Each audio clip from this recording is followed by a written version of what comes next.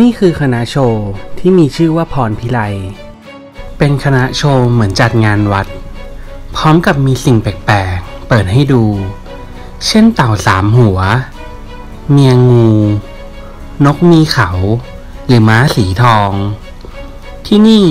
เป็นคณะโชว์ที่ดังมาก และมีงานโชว์ทั่วประเทศตลอดทั้งปี และนี่คือไฮไลท์ของคณะพรพิไล มันเป็นปลาทองสีดำที่มีขนาดใหญ่เท่ารถบรรทุกสามคัน ซึ่งเป็นปลาที่ทุกคนมาที่คณะนี้ต้องการเห็น ปลาตัวนี้สามารถทำเงินให้คณะมากมาย มีเศรษฐีมากมายต้องการซื้อปลาตัวนี้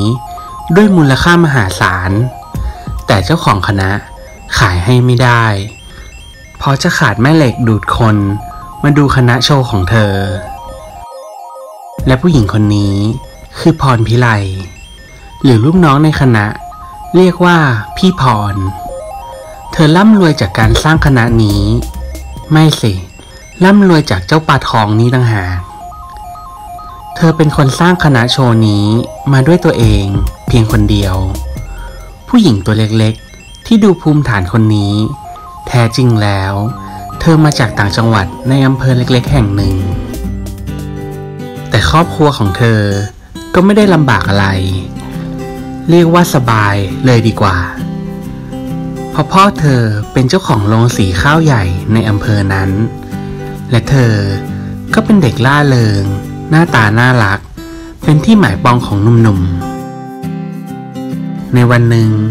เธอไปงานวัดในวันพระใหญ่ประจำปี พร ในวัยสะพรั่ง เธอเฝ้ารองานนี้มานาน เพราะปกติ พ่อของเธอจะไม่ให้มางานที่คนเยอะแบบนี้ แต่เพราะผลการเรียนที่ดี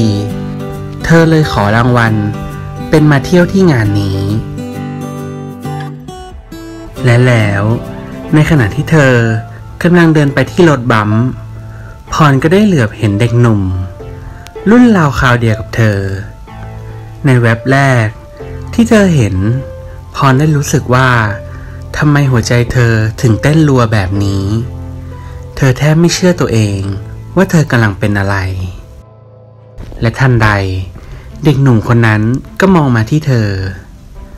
และเด็กหนุ่มคนนั้นก็ทำให้เธอหัวใจแทบระเบิดออกมา นั่นก็คือ เขายิ้มมาให้เธอ พรมีเพื่อนผู้ชายในโรงเรียนเยอะ และมีผู้ชายมาจีบเธอเยอะ แต่ตลอดมา เธอไม่เคยเห็นรอยยิ้มไหน ที่ทำให้เธอมีความสุขแบบนี้มาก่อน สักพัก เด็กหนุ่มคนนั้นก็เดินเข้ามาคุยกับเธอ หลังจากที่ยืนเขิน แอบมองกันไปมา ไม่กล้าที่จะเข้ามาทำความรู้จัก เด็กหนุ่มแนะนำตัวว่าชื่อก้อง และพอทั้งสองได้คุยกันเพียงไม่นาน ทั้งสองก็คุยกันถูกคอ เหมือนกับว่ารู้จักกันมานาน และทั้งคู่ก็รู้สึกเหมือนกัน นั่นก็คือ ทั้งสองต่างหลงรักซึ่งกันและกัน หลังจากนั้น ทั้งคู่ก็ได้แอบคบกันลับๆ เพื่อไม่ให้พ่อเธอรู้ แต่แล้วไม่นาน พ่อของเธอก็รู้เรื่อง พ่อของพรโกรธมากถึงมากที่สุด เพราะพ่อของเธอไปสืบมาว่า บ้านของก้องนั้นมีฐานะยากจนมาก และพ่อของเธอได้เลือกผู้ชายไว้ให้เธอแล้ว ที่เป็นลูกของกำนัน หลังจากนั้น พรได้ถูกจับขังอยู่ในบ้านเป็นเวลาหลายอาทิตย์ พรและก้องถูกใจมาก แต่แล้วเรื่องที่ไม่คาดฝันก็เกิดขึ้น ในวันหนึ่ง พ่อของพรสังเกตว่า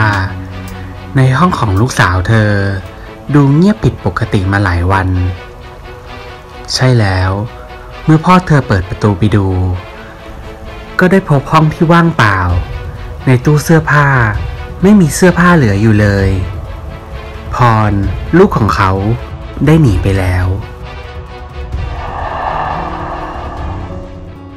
ทั้งสอง ได้หนีมาอยู่ในกรุงเทพ เช่าห้องเล็กๆอยู่ เพราะพวกเขามีเงินติดตัวมาน้อยมาก ก้องและพรได้ตัดสินใจมาเริ่มต้นชีวิตกัน ทั้งสัญญากันว่า เมื่อตั้งตัวได้ พรจะกลับไปขอโทษพ่อของเธอ ทั้งคู่เริ่มต้นหางานอย่างยากลำบาก เพราะทั้งคู่ไม่มีวุฒิการศึกษาอะไรเลย ต้องอดมือกินมือ้อ แต่ทั้งคู่ก็มีความสุขมาก และไม่นาน พรก็ได้งานเป็นแม่บ้านในบริษัทเล็กๆ แห่งหนึ่ง เธอตั้งใจทำงานอย่างแข็งขัน ส่วนก้องได้ไปทำงานก่อสร้าง เพราะเขามีร่างกายที่แข็งแรง และยังหนุ่มแน่นอยู่ และหลังจากนั้น ทั้งคู่ก็เริ่มมีเงินเข้าบ้านมาเริ่มตั้งตัวได้ แต่ไม่นาน ก้องได้ล้มป่วยลง เพราะช่วงหลัง เขาต้องทำงานล่วงเวลาอยู่บ่อยๆ พอใกล้กำหนดการจบงาน แต่เวลาผ่านไป อาการของก้องยิ่งสุดหนักลงมากขึ้นเรื่อยๆ และมีอาการแปลกๆ คือ กลางวันเขาจะตัวเย็นมาก และกลางคืน ตัวจะร้อนมาก ไม่ว่าพรจะพาไปหาหมอที่ไหน ก็ไม่สามารถตอบเธอได้เลยว่า กล้องเป็นโรคอะไร ในทุกอาทิตย์ เธอต้องตะเวนพากล้องไปหาหมอในที่ต่างๆ แต่แล้วก็เกิดเรื่องที่แปลกประหลาดขึ้น ในคืนหนึ่ง มีรอยนูนสีม่วงเข้ม นูนขึ้นมาตามร่างกายของกล้อง ตามรอยนั้นกล้องจะเจ็บปวดมาก เขาลองดิ้นรนไปมาทั้งคืน พรสงสารกล้องจนเธอต้องร้องไห้ออกมา ในคืนนั้น เธอเฝ้าเช็ดตัวเขาทั้งคืน และในช่วงหลังที่กล้องป่วยมาหลายเดือน เธอต้องทำงานหาเงินมารักษา มาหาข้าวกินประทังชีวิตอยู่คนเดียวทำให้ตอนนี้พรมีสภาพร่างกายสุดโทรมด้วยเธอผอมแห้ง ผิวหยาบกร้าน เด็กสาวที่น่ารักสดใสได้หายไปจากเธอแล้ว แต่เธอก็ไม่สนใจ เธอคิดอย่างเดียวว่า จะทำยังไงให้คู่รักเธอหายป่วย และทันใด ในคืนหนึ่งพรก็ต้องได้เห็นสิ่งที่น่าตกใจ นั่นก็คือ กล้องแฟนของเธอได้มีสภาพที่เปลี่ยนไป เขามีรูปร่างร่างกายที่ไม่เหมือนมนุษย์ เขามีรูปร่างที่คล้ายป่ามากกว่า และมีเมือกเหนียวๆห่อหุ้มตัวอยู่ พรตกใจอย่างสุดขีด เธอทำอะไรไม่ถูก นี่มันเกิดอะไรขึ้น นี่มันเป็นตัวอะไร ก้องแฟนของเธอกำลังเป็นอะไร และทันใดนั้นเองกล้องที่รูปร่างค่อยๆ เปลี่ยนไปช้าๆ แต่ในส่วนหัวยังเป็นหน้าของมนุษย์อยู่ ก็ได้พูดกับเธอว่า เขารู้สึกตัวว่า ไม่นานเขาจะต้องมีร่างกายที่เปลี่ยนไปเป็นปลาอย่างช้าๆ เขาบอกเธอว่า จงใช้ประโยชน์จากตัวของเขาซะ เพื่อให้ชีวิตของพรอยู่รอด หลังจากนั้นพรได้เอาเงินเก็บก้อนสุดท้ายที่ก้องให้ไว้ มาเช่าตึกแถวเล็ก พื่อเปิดเป็นที่อยู่และที่โชว์สัตว์แปลก ให้คนเข้ามาชม และเธอก็เก็บเงินค่าดูสัตว์ตัวนี้ สัตว์แปลกตัวนั้นก็คือปลาทองที่มีขนาดใหญ่เท่ารถตุกๆใช่แล้ว ตอนนี้กล้องได้เปลี่ยนเป็นปลาทองขนาดใหญ่ และเมื่อเวลาผ่านไป ก็จะใหญ่ขึ้นเรื่อยๆ ตอนนี้ กล้องในร่างปลาทอง ยังพอสื่อสารกับพรได้ แต่พวกเขาสื่อสารกันในเรื่องง่าย ๆ ถึงจะเป็นการสื่อสารง่าย ๆ แต่มันก็ทำให้พรอุ่นใจที่คู่รักของเธอยังอยู่ และเมื่อเวลาผ่านไปปลาทองเริ่มตัวใหญ่ขึ้น ใหญ่ขึ้นทำให้มีคนหลั่งไหลมาดูกันมาก แถมได้ออกรายการทีวี และเมื่อมีคนสนใจเข้ามาดู พรก็เริ่มมีเงินมากขึ้น แต่สิ่งที่ส่วนทางกันนั่นก็คือก้องค่อยๆ กลายเป็นปลาโดยสมบูรณ์ เขาไม่สื่อสารกับพรเหมือนเคย และพรได้ค่อยๆทำใจอย่างช้าๆ เธอรู้ว่าตอนนี้ก้องแฟนของเธอ เขาได้สูญเสียความเป็นมนุษย์ไปหมดแล้ว